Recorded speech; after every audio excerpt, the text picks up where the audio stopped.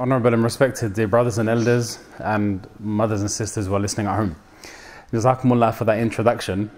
And uh, Alhamdulillah, those two people who you mentioned, I know them very well. Maulana Ghalib is my chacha. Yeah.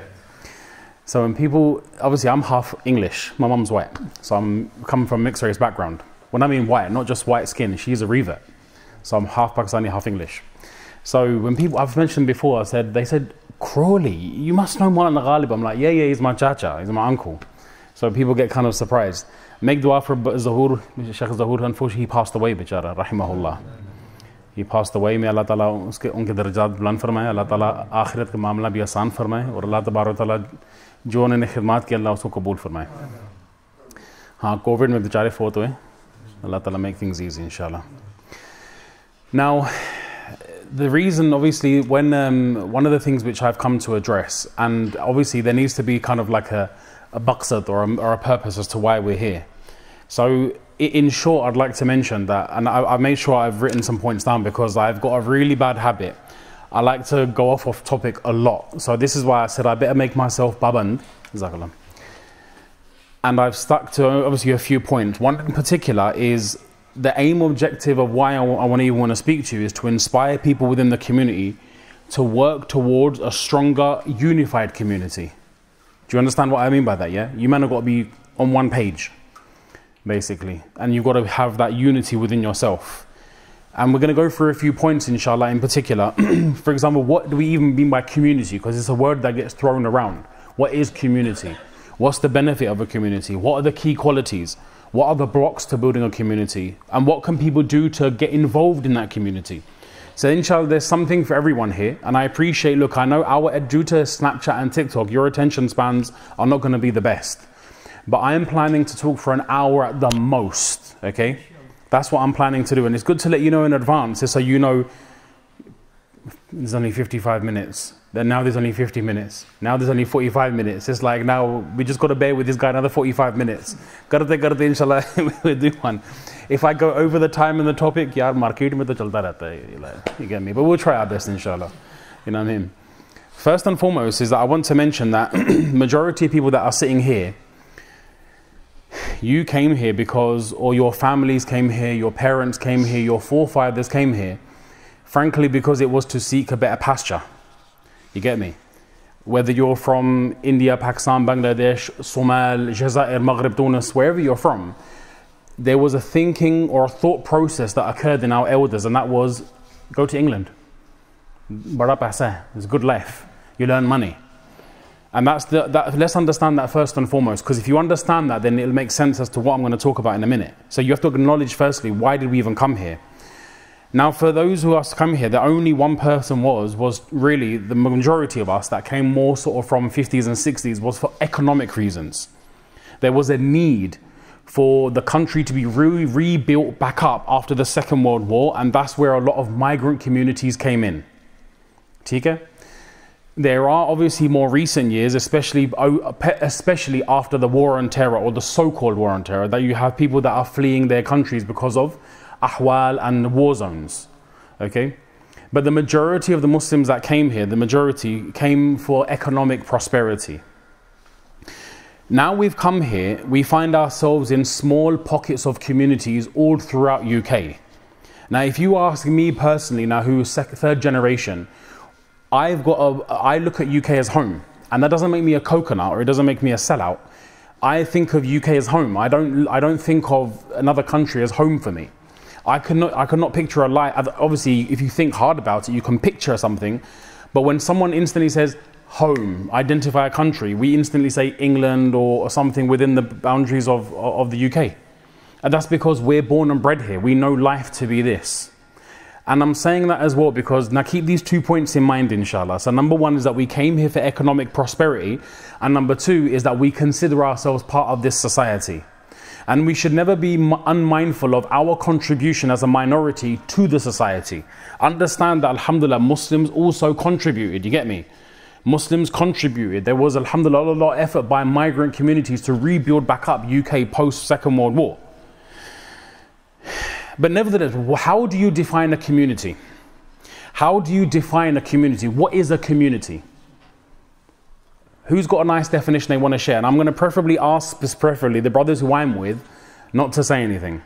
Because obviously that's thing we've spoken about locally and so on. But I want to know from you guys, who can raise their hand and give a comprehensive, without accessing your phone or even worse, ChatGPT, and give me a definition as to what is a community? Sorry? Common unity. Common unity. Okay, unity, fair enough. Is anything else? What, how would you define a community? Bro, you man that go school, yeah, you should know this. But Jolo, if you don't, but uh, I don't know, maybe, wallahu I don't want to mention anything negative, bro. But anyway, if anyone has a definite, so uncle mentioned unity, I get that, absolutely. How would you define a community? Sorry? Social get together. Social get together? Okay. Caring for each other. I'll save you the pangs just because I see some of the youngsters looking and say, What's the we talking about, bro? Like, bro, so okay, let's just move ahead, inshallah, and I'll just come to the point. It's like this a community can be simply defined as a number of people sharing or having certain attitudes or interests in common. Did you hear what I said? You share an attitude and an interest in common. That is a community Keep that definition in mind, inshallah. So there's three things I mentioned. We came here for economic prosperity. And also, in addition to that, as well, is that we've got different pockets of people we've contributed to society, and also now the definition of a community. Allah Ta'ala refers to us as brothers. إِنَّمَا الْمُؤْمِنُونَ إِخْوَةً Anywhere will you find a believer, whether it's Chorley or Crawley, whether it's London or Gatwick or Glasgow or Edinburgh, east, west, north, and south. If you are a Muslim, ident- instantly that makes you a brother of another Muslim. You are all one part of the larger family. Do you get it? And that is something which, alhamdulillah, which we have between us. And Allah Ta'ala mentions as well, فَأَصْلِحُوا بَيْنَ أَخَوَيْكُمْ Therefore, because you are brothers, you should make peace and sulh and you should make a common understanding between you. And you should have taqwa and you should also fear Allah Ta'ala. Furthermore, if you do this, what will happen? لَعَلَّكُمْ تُرْحَمُونَ So if you have mutual brotherhood, you also, in addition as well, you make peace and amends between each other, and you have taqwa.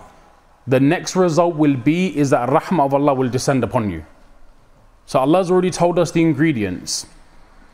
If you can have these three key things in place, the community will be in harmony, inshallah. The Prophet ﷺ, he mentioned, Al-Muslim akhul Muslim, la yaslimu, la yadlimuhu, wa la the Muslim is a brother of another Muslim. I'm giving you the definition. If you're thinking, where have I gone? I'm here with you, inshallah. I'm telling you what is the definition of a community. One is the definition from a worldly perspective, a dictionary concept. And then there's another thing from the lens of Islam. So we already identified that we're brothers. We already identified that there's, we, are common, we are common believers. Are you guys getting this, yeah? And in addition to that, the Prophet ﷺ mentioned the Muslim is a brother of another Muslim. He never wrongs him. He never wrongs him and he never ever forsakes him.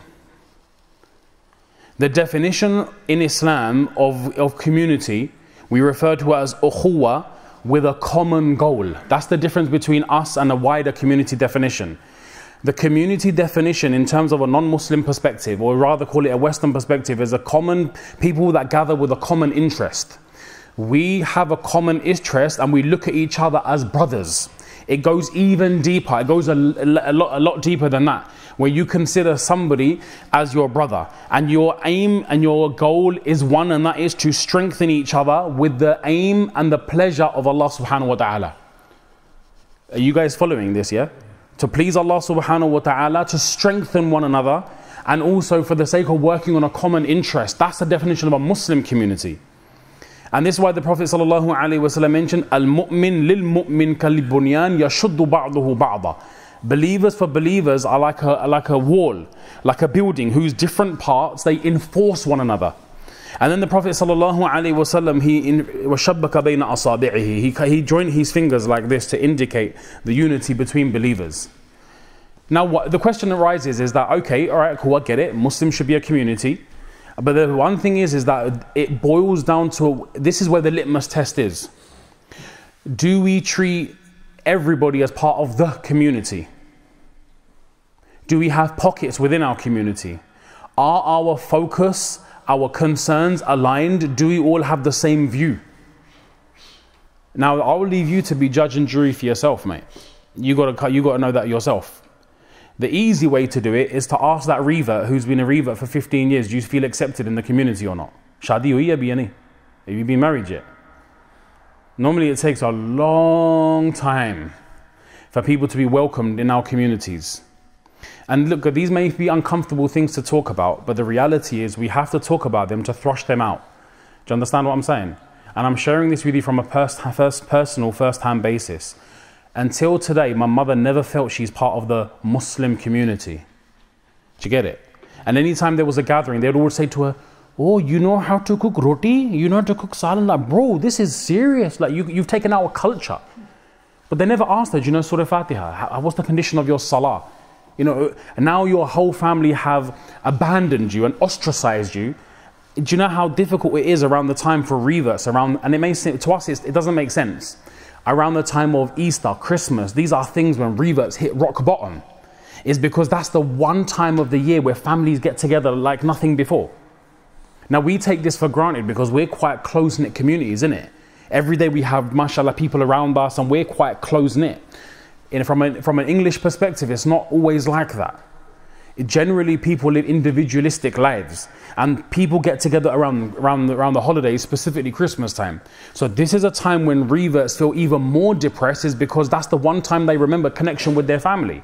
So they neither have their own family, they don't even have the Muslim family, they're literally living by themselves.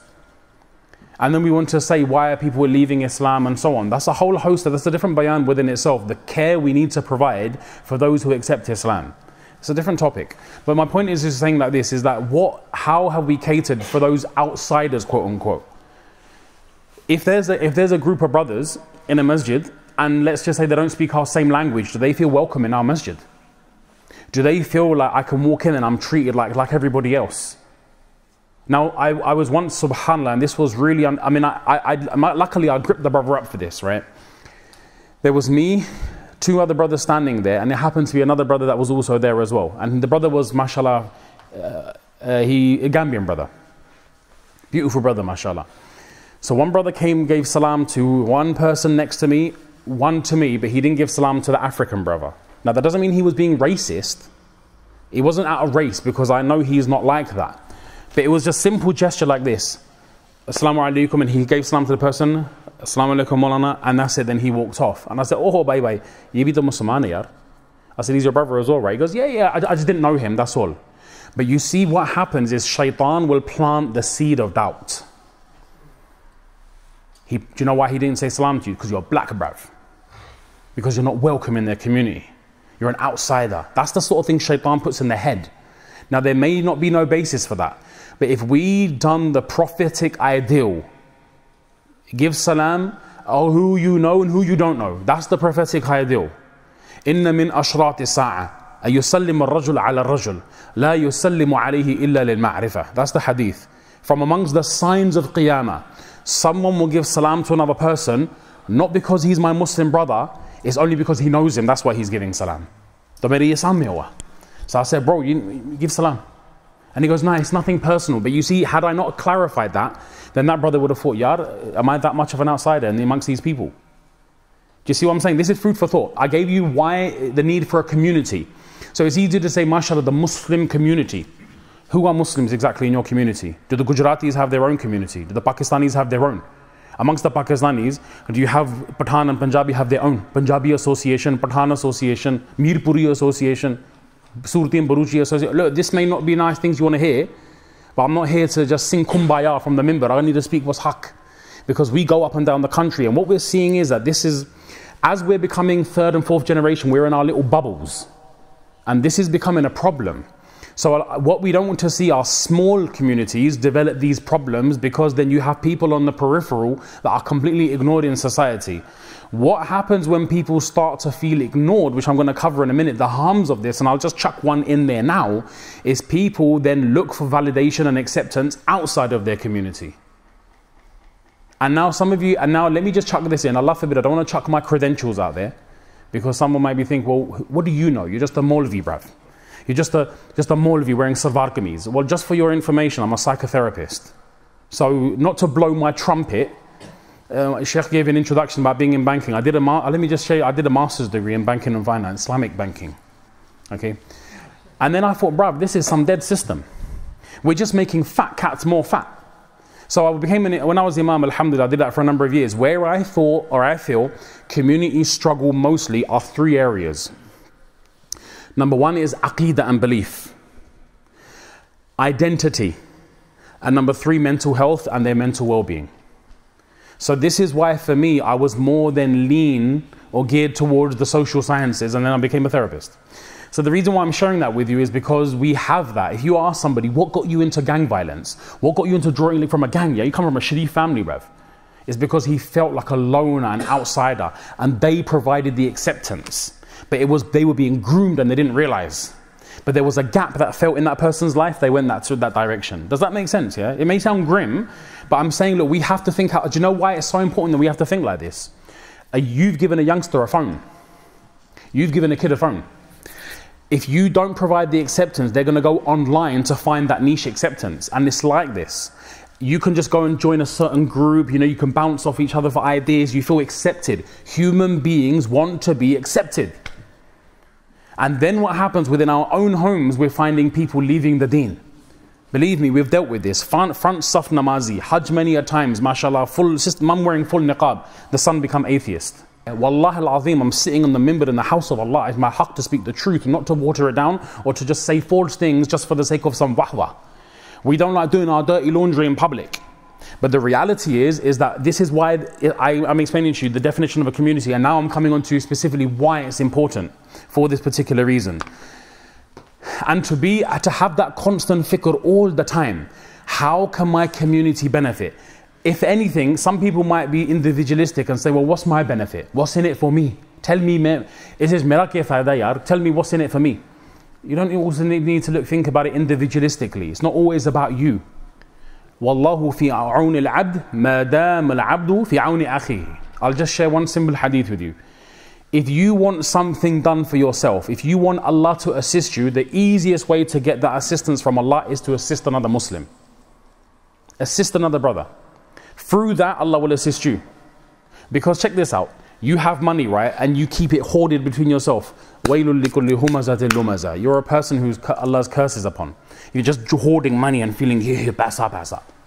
But then you have those individuals that are spending on people, looking after people, the welfare of people. Because Allah subhanahu wa ta'ala sees this person as a means and instrument of khair, Allah gives more. If we give more, He's going to spread it. So this is a way how to win that. Do you get it? And obviously this is, a, this is not a bayan about the virtue of sadaqat and so on. You've probably heard from your ulama. You spend one, you get ten back. Point is this, is that when you seek avenues to help your Muslim brother or sister, Allah will assist you. So look at it as a communal obligation, obligation and a fard kifaya of working to build the bridges and building hearts. When Allah subhanahu wa ta'ala refers to Muslims and he mentioned he, he mentioned يا أيها الذين آمنوا اتقوا الله حق تقاته ولا تموتن إلا وأنتم مسلمون واعتصموا بحبل الله جميعا ولا تفرقوا and I can finish the verse but this is the first part which I want to focus on specifically Allah refers to the Muslims and says have haqq of taqwa fear Allah how he ought to be feared but then he moves on to another thing. وَاعْتَصِمُوا بِحَبْلِ اللَّهِ جَمِيعًا وَلَا تَفَرَّقُوا Hold on firmly to the rope of Allah and don't be dispersed and don't, uh, don't be divided. In unity, there is strength.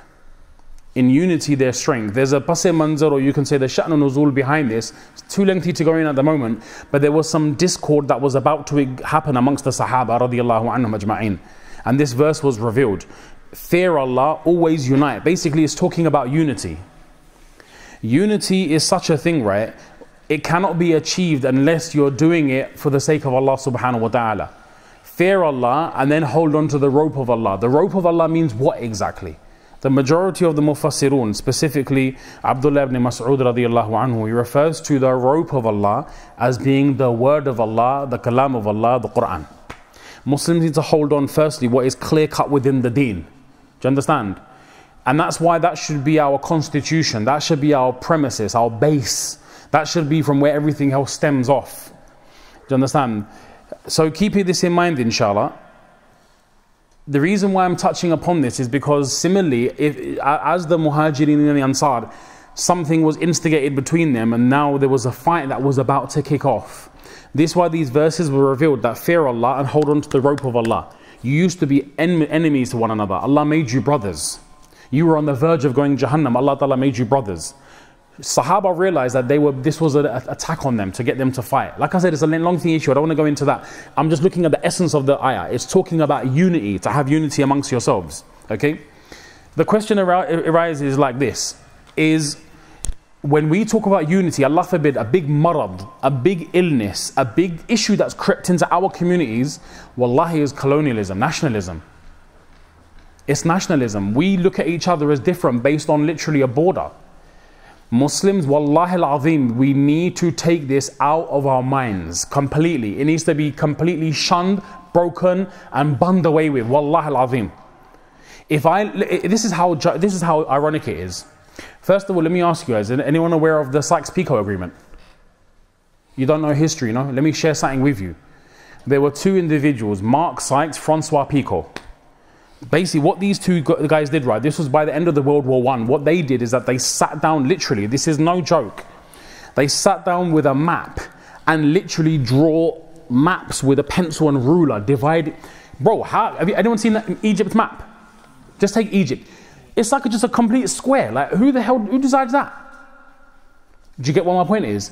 These were built, these were barriers, these were borders, not that were defined by Allah subhanahu wa ta'ala, they were defined by two individuals. It's a border that was drawn between the two people. It was drawn. And whether we want to hear this or not, because this is touchy stuff, even people, even if you look at even Pakistan itself, India, it was drawn. These borders were drawn. Bangladesh was drawn. Saudi, Yemen, Oman, all these things, they were borders that were drawn. But more specifically, right, is that if you look, I mean, not, not specifically, they sat down literally with pencils, dividing the whole region, and they cut through some volatile regions. Have you ever, obviously, you've heard of Kurdish people, right? Kurdi. Kurdish, if I, need to, I don't want to give you a history lesson because that's not the focus of my thing, right? This is how mad uh, colonial nationalism is it was split into four regions. Part went to Iran, part went to Turkey, part went to Syria, part went to Iraq. It's literally, it's like, I can't even explain it how. It's like going into London and dicing it into four parts and saying now north, south, east, west, you're all different countries. You're all, this is one slice of the pie, this is another part, this is another part. And based on two people sitting down and drawing a line. Now, what happened was it was done like this. Once you draw the borders, the next step is to create a sense of identity, pride. You're Pakistani loka yar, asan Gujarati loka. Like, you know, that sort of mentality, you would die for the motherland, die for the homeland. For what are you dying for? Nationalism. Did the Sahaba ever fight because I'm, I, I'm just an Ansari, I'm just from, I'm from Medina? It's batil, wallahi, these are batil ideas. This is complete jahiliyyah. It's complete against the fabric and, and the fiber of, uh, fabric of being a Muslim.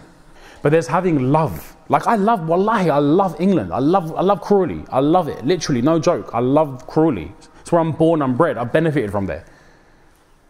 And I wish khair and good for the people.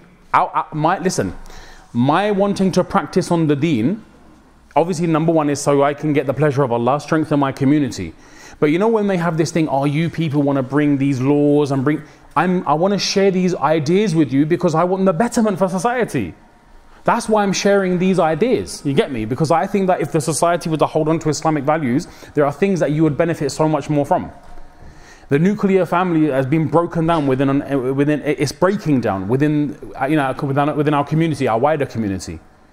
You have like families, one child, some no children, work their whole lives at age of 65. There's no, there's no immediate family. Now for us, this is like bonkers.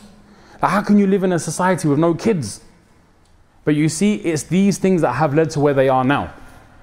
The, you know, anyway, khair, like I've gone off on a tangent. So I was mentioning about us having ikhtilaf. I'm alright, bro. That's cool. I'm alright. I, I've, we, we, we basically have ikhtilaf with one another based purely on a division. I asked one, I was, I was looking into the whole Surti Baruchi Ikhtilaf, right? And I was studying this, that what makes it different? Because when I look at people, I can't see no different. I can't see difference. And sorry if I'm touching on toes here, I'm sorry, but it's a reality. Literally, a lake separates. This is one side, that's the other side. It's as simple as that. It, it, it is not, it's not even a different nationality of people. There is a distinct difference between Pathan people and Punjabi people. There's distinct difference, genetically difference. They're not all the same in that sense. There's difference in language and culture. They're, they're so different. But you're talking about something that literally, this is like saying, uh, what's your neighboring town? Preston. Preston. Is that literally border? Yeah. So like Preston's another country. Like that's how the beef is literally. Like they're completely different from us. It, you see, as a Muslim, we can't have this thinking. But this has crept in. I want to share something with you, subhanAllah, and this is something which is madness. Because as a result, we've got these nationalities and ethnic tensions that exist amongst us, and we regard each other as different from, from we regard each one of them as different. Now, until and unless we can put an end to this, wallahi, that's the way we'll be divided. You can sit here and talk about community, we're one community. No, we're one community according to your definition of community. So, like, people say, oh, brother, you know, we need the unity. Okay, well, what's your definition of unity? Like we have, subhanAllah, Gujarati only madrasas, Pakistani only masjids, Sri Lankan only maktabs. So where's the unity? Look, guys, I'm sorry. I know that some people may find this very uncomfortable. But these are conversations we need to make because we want the betterment for one another. So don't think, यार ये क्यों ये कह रही बात है इस तरह बातें छेड़ने की क्या ज़रूरत है छेड़ने की इस वजह से ज़रूरत है बिकॉज हम गफलत में हैं or incuba, and, and we're going to come to a solution. It's not all doom and gloom, but I want you to understand this thinking was imposed upon you. This was exactly the type of thinking that was, was to be achieved from the plan of this whole drawing of borders. It was interesting because there was a former British minister, George Curzon, and he mentioned specifically these points. And the idea was, was to instill ikhtilaf. So Algerians and Moroccans don't get along. Tunisians and Algerians don't get along. Libyans and Egyptians don't get along. Saudis and Jordanians don't get along. Shamis and Levant, that's another mad one. Levant are one people. Jordan, Syria, or other, where does it go? So Syria, uh, uh, Palestine, Jordan, Syria, uh, Lebanon, this is all the Levant area, Sham. It was literally carved up, and now you have racism that exists between the two groups. There is a massive kickoff at the moment, subhanAllah, in Egypt. We want all these Syrians out of our country. We want them out. Even subhanAllah, Rohingyas can't go back to Bangladesh because they say they have nothing to do with us. Why should we accept them? Do you see what I'm saying? So this is where nationalism creeps in. They're Rohingya, we're Bengali. Oh, they're, uh, they're Shami, we're Masri. They're from here, we're from here. Oh, you're all Khariji. So the he goes very, very deep. Allah Ta'ala protect us and Allah save us. What did George Curzon say? Let me say what he said. This was said openly without any, and I want to share this to you. It was said that we must put an end to anything which brings about any Islamic unity between the sons of Muslims. Listen to that carefully. This was the colonial masters who carved our countries up, bruv. We need to put an, we must put an end to anything which brings about Islamic unity between the sons of Muslims. As we've already succeeded in finish off the Khilafah, we must ensure that there will never arise again unity for the Muslims, whether this be intellectual or even cultural unity. Can you see how deep it is? The year, the, 100 years ago, this was already thought of. And we are divided amongst ourselves. This is why, me personally, I got an invitation from one group of people. It was the country association and, and so on. And I'm like, who's your target audience? We're just calling people from this community. So I'm not interested. Can, I'm not coming because I'm not of that thinking where I've got I'm only there just for Bengalis, I'm only there just for Algerians, I'm only there for the Kurdis. I'm there for anyone who says La ilaha illallah. You get me? And that's what we need to instill within our communities. Now, do you know what it is? It's easy to talk about this now, mashallah, it's nice and easy. Ha, unity, unity, it's all good. Tomorrow, if a Bengali comes and asks for your daughter's hand, are you going to give it a marriage? Now, these are, this is the part which now is very uncomfortable. And I say the word Bengali, if you're Pakistani, would, the, would you give a Gujarati your daughter's hand? If you're Moroccan and now Nigerian comes, are you going to give your daughter's hand in marriage? That's where the litmus test is. So it's easy, all mashallah, falsafa. Yeah, bro, unity, unity. We're all for the unity. Yeah, we're, in, we're, in, we're all for the unity when it comes to sharing a box of pizza, you know, or kebab or a community barbecue. But you want to talk about real unity? We have to break these barriers as well. Now, someone may say, oh, but Malana, you know, there's that hadith, right, where the Prophet mentioned, تُنْكَحُ الْمَرْأَةُ لِأَرْبَعَةٍ A woman's married for four things. لحسبها ولمالها ولجمالها ولدينها. Oh, you know, women can get married also for hasab, nasab and well. I know, there's the hadith. Culture can be taken into consideration. But what did the Prophet ﷺ say? Look at the ending of the hadith. فَضْفَضْ بِذَاتِ الدِّينِ تَرِبَتْ يَدَاكَ Always give preference to deen because if you don't give preference to the deen, you will be losers. Do you get it? So don't, I, I, don't get me wrong, I'm not just saying here firing arrows in the dark. We've thought of this before we come and speak because these are very contentious issues.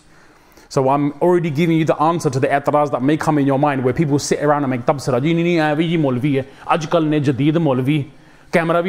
Eh? You get me? So these are the, these are the issues. Sorry that, I beg your pardon. I was simply translating as people will find a fault. It's called an ad hominem attack. I don't like you, bro. Look at his kurta, bro. He must not be right. It's an, you're attacking the person, not the argument. Do you get it? It's called a logical fallacy. So when you've got nothing to latch onto, you'll attack him.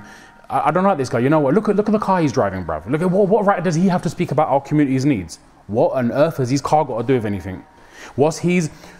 I should not listen to him because his brother's a billah crackhead. What's his brother got to do with anything? Well, that's not the argument. To, to tell me about the argument.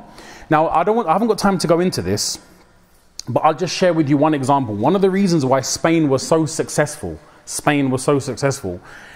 If you look at the history of the Banu Umayyah, uh, obviously Abdurrahman Thalith and so on, if you know history, if you don't, just take my word for it and read, inshallah. One of the things that made Spain so successful as a people is that they, they didn't go in there with this whole, you know, we are Arab, we are Banu Umayyah, and we need to establish Hijaz, Allahu Akbar, you know, the, this sort of nationalism. They went in there and they thought, okay, number one, we our maqsad is La ilaha illallah. That's it. Our maqsad is to build community on the basis of ukhuwah and brotherhood. They didn't go there trying to get everyone to wear clothes like them, eat like them. It was adopt the culture, but instill within the community Islamic values. Spain was a unique example. And subhanAllah, yes, it had its faults, and I'm not saying it was all mashallah, uh, you know, bed of roses. It had its challenges. But one of the things which they did, that, that they did away with the barriers and Muslims, mashallah, you know, they accepted each other for their different values and their cultures and their colors and so on, and it became an amazing pot, melting pot of different nationalities and one of the most thriving examples in recent, recent history. When I mean recent, I mean sort of like in civilization rather. But again, that's too much to go into. Let me just re- recap if you guys are thinking, where have we gone to? So far, we've spoken about the definition of a community. Why is it that it's important to establish community? Why? What's the benefit? And the benefit is, is because Allah subhanahu wa ta'ala, first of all, why is the community important? Is because we are brothers. It's important for the longevity of our community in the long run. Do you understand? If you want to survive as a community long term, you're going to need to think not like foreigners, not like individuals, not like Mashriqi and Maghribi, not like rich and black and white and poor, uh, white and brown and rich and poor, educated, non-educated. You need to think as one community. And until unless we don't think like this, we will be easily divided because this has always been the strategy from day one. And until and unless Muslims can do away with this, we will fight, bicker, and argue amongst ourselves, and it will never come to an end. Now, as I mentioned, right, is when Allah Ta'ala in Surah Al Imran, He mentions, Ya ayyuhalladhina amanu taqullaha haqqa. Ya ayyuhalladhina amanu haqqa uh, uh, uh, ittaqullaha haqqa tuqatihi. So Allah mentions the believers. In Surah Al Imran, the verse which I mentioned to you before, Allah mentions uh, the following things. He refers to us as believers. So, Iman. These are necessary and key qualities of a good community.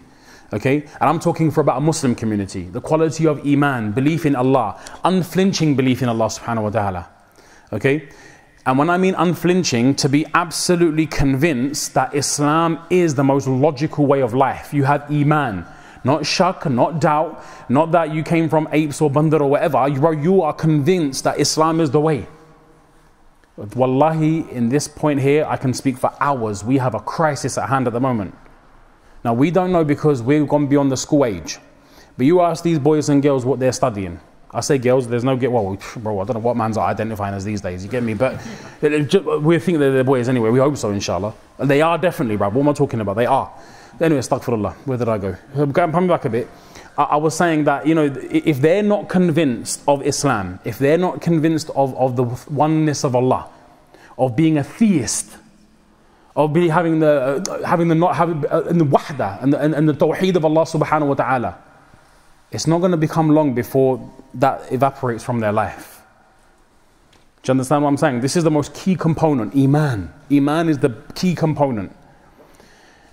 We need to therefore have those open conversations in our masajid, from the mimbers, from the madrasas, from families teaching their kids. This is why it's absolutely imperative we do ta'aleem at home. Do ta'aleem at home on a daily basis. Every day, take our time. Qala Allah, Qala Rasul, instilling within the children the, you know, the iman in Allah, the love of the Prophet These are really important things. So Allah Ta'ala firstly mentions Iman. Secondly, Allah Ta'ala talks about taqwa. And then Allah subhanahu wa ta'ala mentions after that unity. So these are some key ingredients. Now when it comes to the Sahaba radiallahu anhum ajma'een, okay, let me, let me just share with you. What was the Sahaba radiallahu anhum ajma'een's example? When Sahaba radiallahu anhum ajma'een accepted Islam, they had one purpose and one purpose only. And that was how can Islam flourish and how can I be utilized for the sole purpose of the spreading of this deen? It was like automatic the moment they accept Islam, they knew that this is my job now. I have to do this too. And wherever Sahaba went, whether it was Egypt, whether it was Damascus, whether it was Sham, Iraq, wherever they went, they enriched society with Iman. I find it bonkers, honestly, that you even have people from amongst the Muslim community that frown at the idea of doing da'wah in the outside non Muslim community. I, I, I, I don't get it. I really don't get it if you, you're making a claim, you need to provide me evidence that you're not supposed to do it. Because all the ayat are talking about da'wah. All the ayat are talking about amr bil ma'ruf. It doesn't just apply to Muslims. It's non-Muslims as well. Asal da'wah is non-Muslim. When we talk to a fellow Muslim, it's tazkiyah, it's reminder, it's, you know, you're, you're, you're reminding them. It's a reminder. You know, but da'wah asal is supposed to be to a non-Muslim. When you're talking about the call of tawheed, now our situation is so dire. You, uh, you have Muslims coming up to you saying, "Yeah, uh, uh, tell me, is there even a God? Do I? Is it even true?" You know, so we. This is the, really important that this number one thing, working on iman, the tawheed in our community, one of the key things. And as I mentioned to you, Sahaba radiallahu anhum ajma'in, wherever they spread, they spread with the word of tawheed. You know, we sit, mashallah, we gave, oh, you know, four Sahaba went to Indonesia, mashallah. But, you know, because of their efforts, whole whole country became Muslim. ठीक how many people in your life have you given that way in UK? Okay, how many people have you invited to the call of Tawheed? That they came. We've got all these stories from the Salaf, but we don't make amal on it ourselves. So I'm saying, look, I'm, you know, ask to point fingers at ourselves, give yeah, this is a good point. Do, have I done this or not? Then what is the maqsad and purpose? Why are we here as a community? We should want to enrich society, enrich them with their ideas, enrich them, subhanAllah. I honestly say this, no joke, and I'm going to say this, and this is, you know, I honestly believe if this was like quote unquote a Muslim country, honestly, I mean, for me, I love it because it's home from my sense, but this would be the insaf of the people, the justice of the people, the love of people, the acceptance, the openness. These are all good sifat. They haven't got iman. If they had Islam and iman, bruv, they'd outdo us in a lot of ways. I'll tell you that now. A lot of ways. But the point is, is I want to. I came back to my, my initial point. The key ingredients of a community, iman and tawheed. You have to make amal on this. Number one, and number two, I mentioned to you is that taqwa and fearing Allah subhanahu wa taala. And number three is that obviously unity. That's the third thing. Now, so when you have these three ingredients, the first thing that we need to do is to correct our intention as to why I'm here in UK. I want to share a hadith with you quickly. The Prophet ﷺ, he mentioned, Al-Islamu ya'lu wa la yu'la. Simple hadith. Check out that.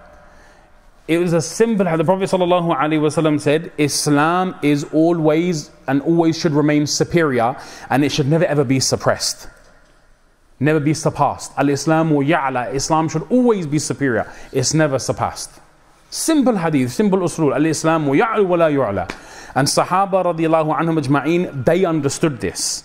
Their maqsad and motive was one. This was the driving force behind the Sahaba. What was that driving force? Islam should be superior and everything else should become, and it should surpass everything else. They gave everything for this cause. Now I ask you, we are living in UK, Muslims migrate to any country in the world, that's their business. Why are they there? What is the main focal point? Why is it that they made quote unquote hijrah from a non Muslim country to a Muslim country to a non Muslim country? What's the reason? What's your maqsad? What's your hadaf? What's your objective? Why are you here? For which reason? Where do you see yourself in a hundred years? Do you see yourself in a hundred years? You know, these are questions we as a community we should ask. Where do we see ourselves in a hundred years? But this will only be achieved if our motives and maqsad and, uh, is driven towards one goal, and that is establishing the deen of Allah and the pleasure of Allah. Otherwise, it's not going to be long before slowly, slowly, slowly our communities then start to become weaker and weaker. And then basically, these masajid that you see, may Allah Ta'ala protect us, but we've seen it happen in Spain. Spain was a stronger Muslim community than what we have in UK. It came to an end with the Reconquista badly where you either accepted Christianity and you, they wouldn't even they weren't even allowed to make hijrah. You had to leave everything, all your belongings. And even if they thought you were leaving because of any other reason, because of a faith reason, bro, you were dealt with. People were na'udhu billah burnt. Obviously now, inshallah, halat won't, you know, obviously things have moved on since that time, or we hope so anyway. But the point is, is that it, the, the, the objective is this, is that it will become difficult to live in a place if you're not holding on to your deen. And as Muslims, this is the maqsad we should have, that we want to enrich society. We want to be- look, let me ask you a question. Do, we, do you think the people here would benefit from Islam? Do you ask a question? Do you think the English public will benefit from Islam? Oh, definitely they will, man. Of course they will. 100%. It's not even a, even a question. If we have that think, mm, I'm not sure.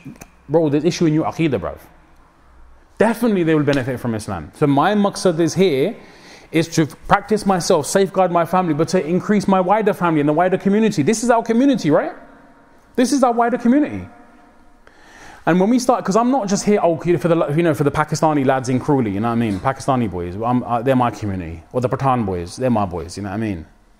The Bengali boys, they're my boys. No, subhanallah, everyone's part of this. Your, your immediate, we've already spoken about the immediate community. That's there. That keeps you safe, but how do you spread the message? When you look at outsiders as foreigners, you'll always uh, shun them and bun them. So, as a community thriving going forward, we have to think like this.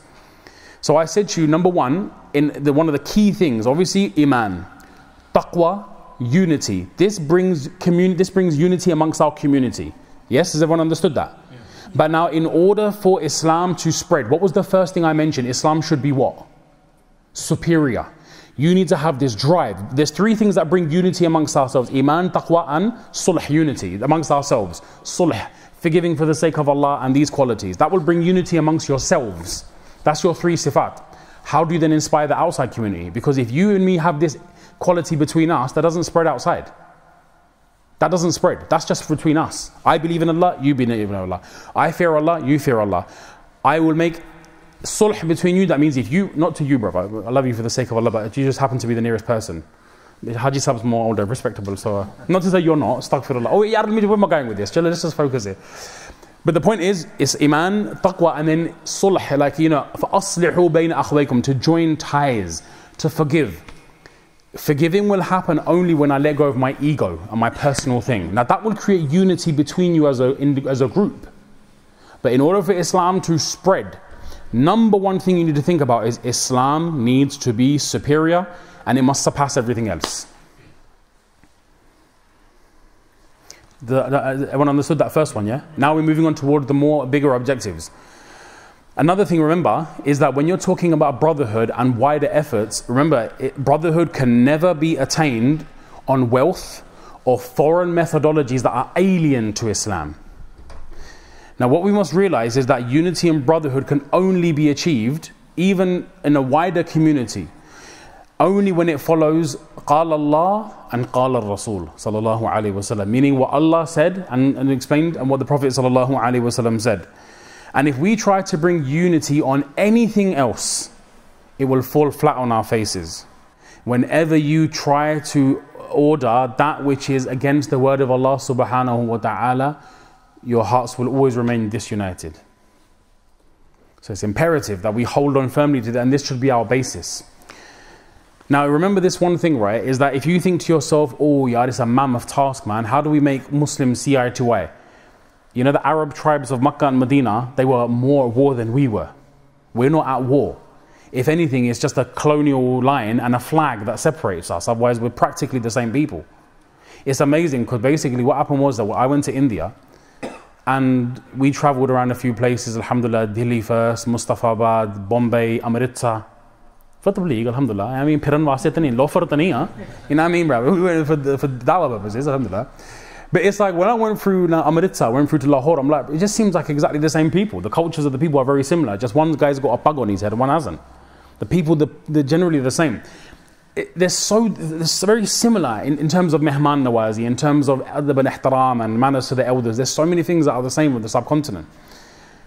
And it's literally, like I said, there are lines that were drawn between the two things. So what is going to separate us? What, a flag? What, a line? Na'udhu So again, like I said, I'm going back to that point again. We're not at war per se. The Arab tribes of Medina, they were literally at war. Uh, Muhajir, uh, Aus and Khazraj were at war, literally. This person killed this many people of my family. I've killed this many people of theirs. Literally, these men were on next level beef. So anyway, look, let's focus because we're going to come to an end, inshallah. We've got only 15 minutes left. I said the Arab tribes in Medina were at war. Aus and Khazraj were at war. The tribes in and around Mecca were at war with one another what basically united them was brotherhood. In kuntum a'da'an fa'allafa bayna qulubikum. Allah said, you remember that time you used to be enemies? Allah brought unity between your hearts. That comes on the basis of iman, taqwa, and unity when you let go of your egos for the sake of Allah. Unity will come. And that's what we need to do with the wider community. You're going to have someone that comes who's really super arrogant, he's harsh, he's offensive, excuse me, he's offensive Leave it for the sake of Allah. Know you yourself that you are being humble, but it's for a wider purpose. And when you make tawadu', when you are humble for the sake of Allah, man tawadu' lillahi rafa'ullah. If you are humble for the sake of Allah, Allah will raise you and elevate your status. So the Arab tribes had more beef than we do, quote unquote. But, and, but the thing is, so we, if we do away with our egos, inshallah, for the wider community, inshallah, we'll be able to bridge gaps it's interesting because each person plays an important role within our community. This youngster plays, where's Walid gone? There, mashallah? Walid plays a role, mashallah, Sheikh Huzaifa plays a role, you know, mashallah, Sheikh Omer plays a role, Imam Saab plays a role, Ajiz Saab plays, everyone plays a role. It reminds me of a story, right? There was one individual, someone came and they were laying bricks. He said, What are you doing, mate? He said, I'm laying bricks. Another person came, the same person was observing. He said, What are you doing, mate? He said, I'm building a wall. A third person came. He asked him, What are you doing? He said, I'm building a cathedral. They were doing the same job. What changed?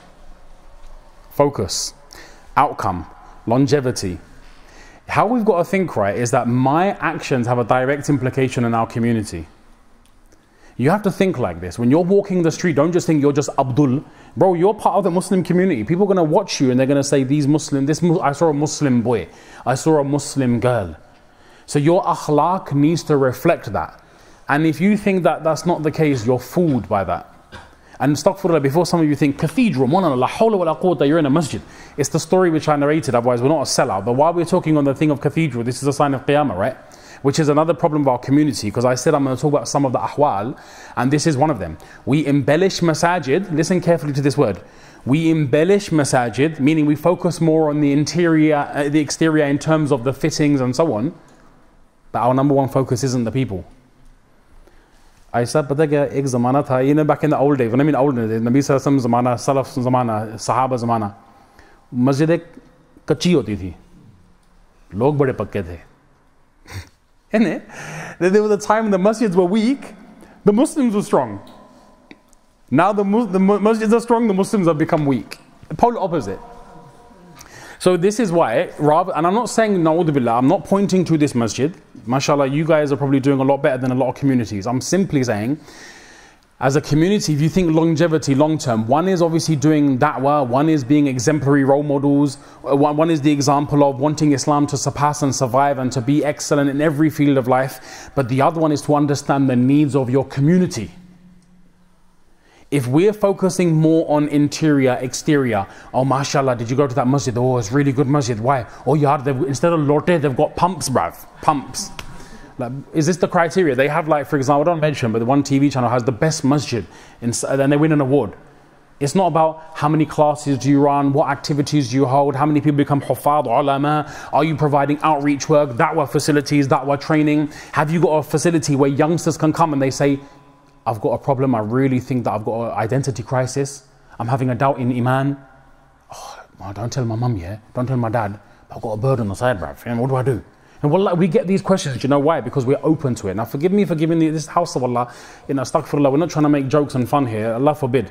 But I'm saying that when you, you be, once you open your doors and you don't judge, because only Allah can judge, yeah, we will guide. If someone, someone said to me, they told me the haram they're doing, they said, what do you think of this? I said, look, it's not permissible, but I respect the fact that you're seeking help. Let's work on that, yard. Allah judge. I'm not here to judge. Eh, Allah na kame. Mera shukr, it's not mine. Like one guy, he came to me Allah forbid. And I'm not saying this is right, it's haram, it's wrong, it's impermissible. He came to me and he was really upset and he was crying. He goes, mona honestly, I, I, I, struggle with the opposite gender. I keep on having these girlfriends and I keep on doing haram. I was like, subhanallah, wallahi, you're a believer. Wallahi al you're a believer. And he cried. And he said, and, I, and, and, and he said, but how do you, how, you know, I feel so, why are you saying that I'm a believer? I'm saying because, you know, the truth is, if you didn't care, and you continued sinning against Allah, I would say this person's a goner. Sinning against Allah and not even caring. The fact that you came to me knowing that I'm a quote unquote Molvi, a Molana, you know, the things you do, like you know that sort of mentality, the ulama are strict. If you tell them, bro, for So it took a lot of guts for you to come to me. Imagine the anguish you're feeling because of this haram and this zina you're doing, that you've come to me. This is a sign of Iman. Goes, I never thought of it like that. I said, it's good because you know, I'm, I'm glad you're hearing it for the first time. But you see, it's a word of hope. On the contrary, I know somebody, the same example, but by another person. One guy went to one particular, which other, you know, he, obviously he meant, he meant well. And he said to him, look, I'm doing this. He said, listen to me. If you don't fix up your ways, you're going to Jahannam. This is haram. He knows it's haram. That's why he's come to you. He's not stupid. He knows it's haram. Why are you telling me? Yes, it's not permissible. Okay, how do we solve the problem? And when I focused on a positive, that look, Yara, let's be realistic. Wasn't it a big thing that he came to me to ask me help? That means he's struggling. And he values his iman. Otherwise, you say, wait, ban this deen, bruv. Wait, for choro, yar, what do I care? What do I care about Islam? He came because he was struggling and he wanted help. I was like, subhanAllah, wallahi, you have iman. He, he, this was such a statement that, that you know, hit him really at heart. The point is, is that do we have these facilities in the masjid? Do we have these things? Mashallah, I'm sure you guys do, but it's food for thought that we need to expand and we need to have outreach work. We need to be able to bring community, understand what the communities need.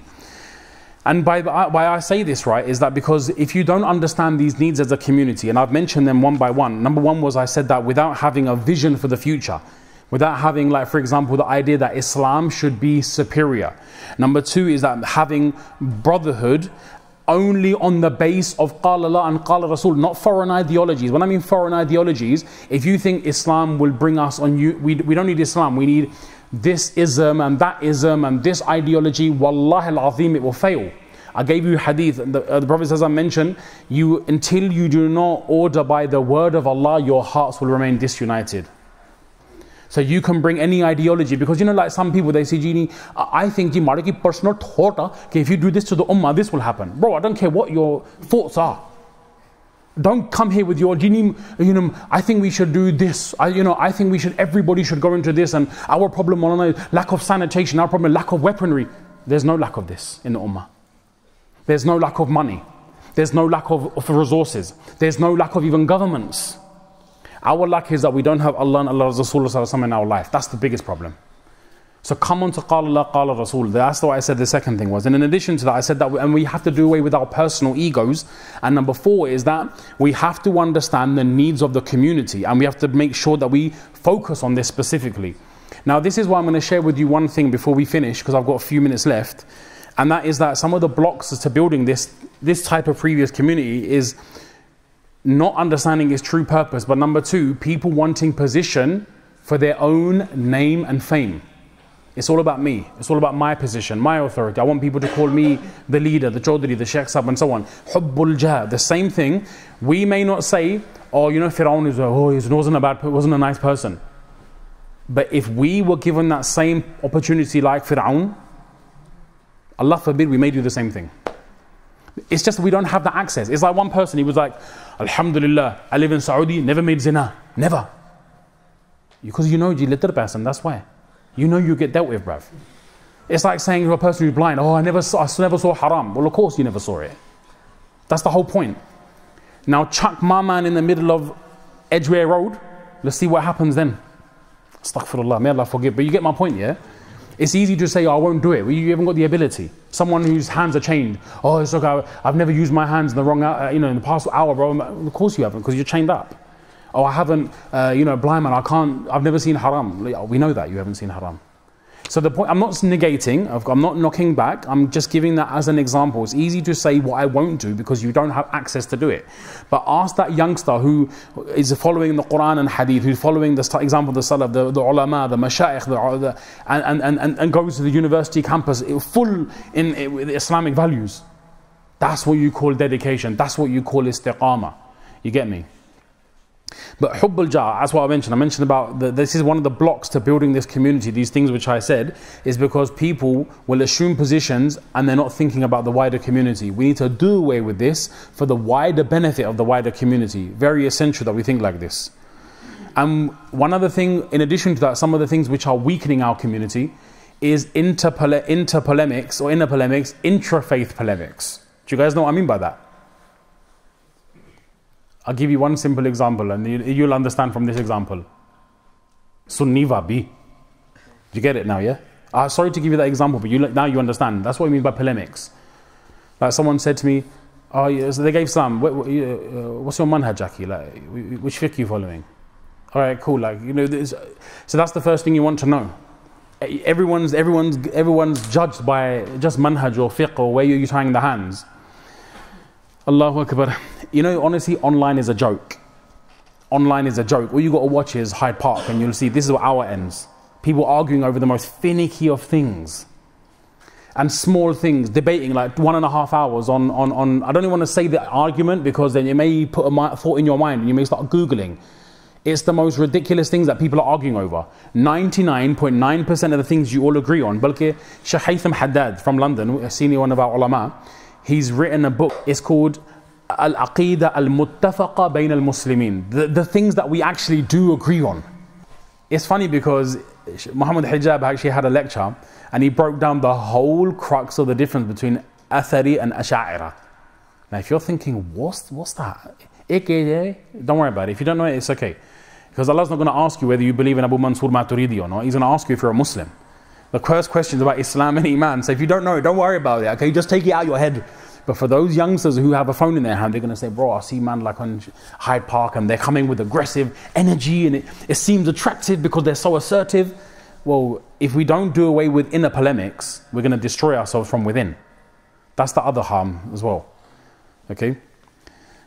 And remember, one thing is that we need to have an environment. This is another barrier in which we need to solve. We need to have an environment which few people can feel comfortable to voice their opinions. And what I mean by voicing their opinions, if you suppress voice and opinion in your community, it will manifest itself in uglier ways. People who think online and causing fitna, coming and challenging.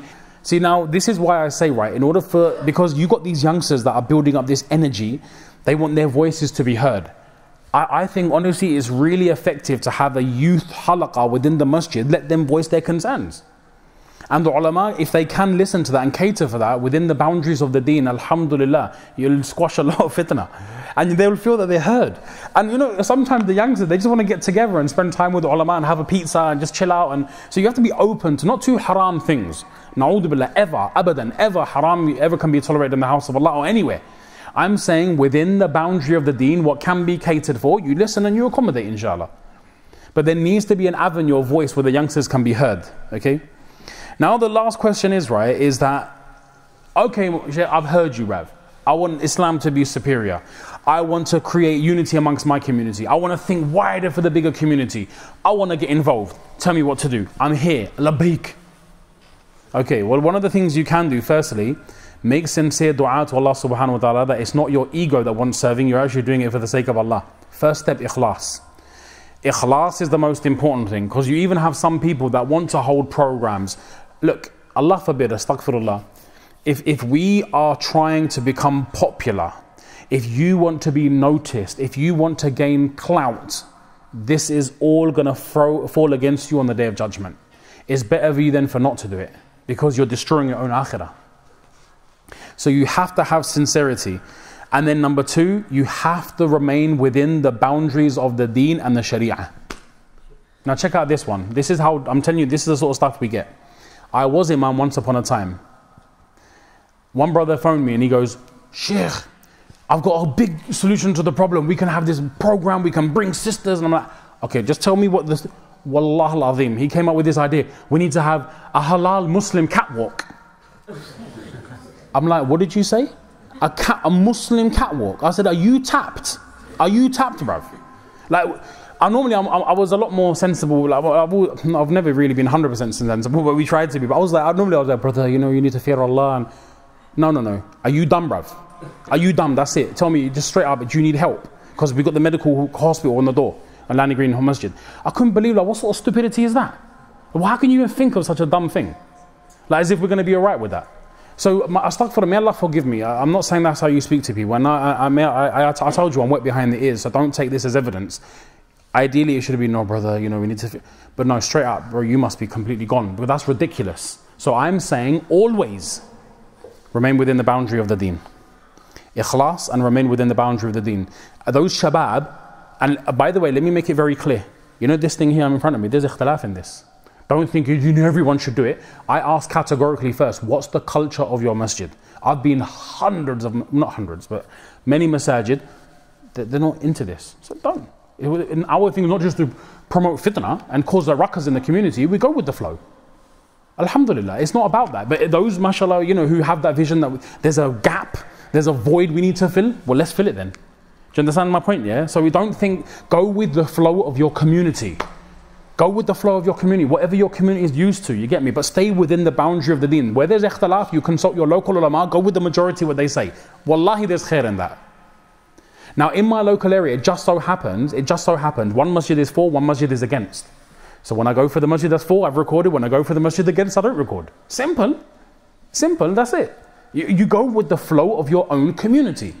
So sincerity and remaining within the boundary of the deen. Number three, in addition to that, if you genuinely want to get involved, don't just go up to a brother and say, like this what happens. Bro, next time you hold a program, yeah, let me know I'm ready, inshallah. Oh, inshallah.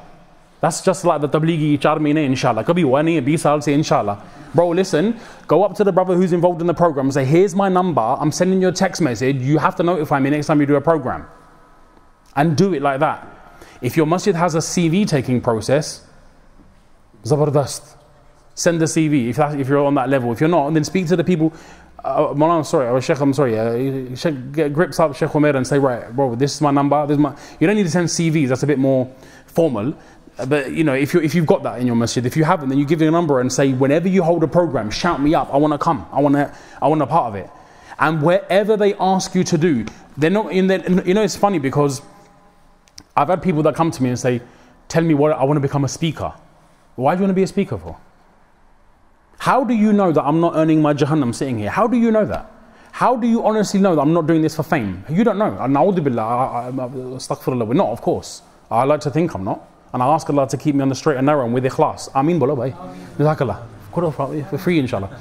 But the point is, everyone just sees the, a presence. Oh, I want a slice of that. I want to be known. What sort well, for what? And what? What's the end result? It's going to be a hujjah against you on the day of judgment. You know what the ikhlas, Wallah, that's why, you know, see, it's, it's, the khidmah will be, we sit down and make mashura. Achabi, where's the khidmah zurud? Okay, someone needs to do chokidari, someone needs to do security, one person needs to clean, one needs to serve. Whatever, bismillah, I'm ready for it, inshallah. Wherever the role is, you tell me. That's when you, that's how you put yourself forward. So I said, be part of the community, ikhlas, within the boundary of the deen, put yourself forward for the community, and whatever art the community ask a need of you at the time and the necessity, you do what is necessity. Last but not least, last but not least, is that in order for us to have thriving Muslim communities going forward, we need to think out of the box in terms of our educational needs of the community. Now, Alhamdulillah, there was a time, mashallah, which is now still quite common. A lot of Muslims are involved in commerce and business, and I get that. But we need, if you're thinking longevity, bruv, 100 years in the future, why are Muslims not filling those academic roles that are needed within society? Where are the Muslim doctors? Where are the Muslim engineers? Where are the Muslim thinkers that can shape policy? and shape international and national thinking. You've got opportunities on your doorstep, some of the greatest universities in UK. Think and for the sake of the benefit. And you're not thinking because I want to earn a package of wealth. You're thinking what? Al-Islam or ya'la, ya'la, ya'lu wa la yu'la. I want Islam to be the, the, best, the forefront, the Muslims to be at the academic forefront, the financial forefront. I want, I want my wider Muslim, non Muslim community to see the real beauty of Islam. I want to help them, I want to benefit them, I want to enrich society. When you have that type of thinking, you won't think like a foreigner, you'll think like someone for the wider community. One issue, we've got one leg in, one leg out. So the father sends all his money to Jabbar or Gujar Khan and they're building big, big plaza and the kid has, you know, hasn't even got the attention of the father. I'm sorry, but you know, this may sound a bit harsh, but it's true. You know, 15 hour day taxis, why do you need, oh, yaar, uh, koti ban Pindi. Bro, listen, I get that, do all that, but what about your kids? Uh, they're not going to identify with Pindi and Jabbar and Kashmir and Surut and Brush. They're going to have that affiliation and that love and respect that will always be there. And I'm not saying you don't send any money, always support your families. But to live like a foreigner, one leg in, one leg out, what are you, what are you doing for the wider community? You understand? May Allah Ta'ala give us tawfiq, inshallah. May Allah guide us and inspire us. As I said, market mein sheikh chalta rehta hai. You get me? I went over eight minutes, but it's okay. Inshallah. I can see some people, inshallah, but alhamdulillah, I hope some people have benefited. I hope everyone benefited. But the main thing is, guys, is that we need to become people of action. काम जो है ना वो काम से होता है ना कि हुस्न कलाम से होता है you can't just sit and talk. Bayan is 5% of the, of the effort. 5%. It's not the asal. Asal is effort. I can only instill an idea. And the idea simply was understanding community, the benefit of being part of a community, and different things that become a block to building that community, and what we need to do on an individual and a collective basis. As a summary, there's a lot that was covered, but that's basically it. Start small, inshallah. Do what you can for your local area, man. Have that real fikr, that real concern. We're only passing through here on a temporary stage. The little good I can do, alhamdulillah, will help me on Yom Al Qiyamah, and help my community to survive, to survive, stay alive, and thrive. Inshallah. Allah Ta'ala inspire us. Wa akhirat da'wana, alhamdulillah,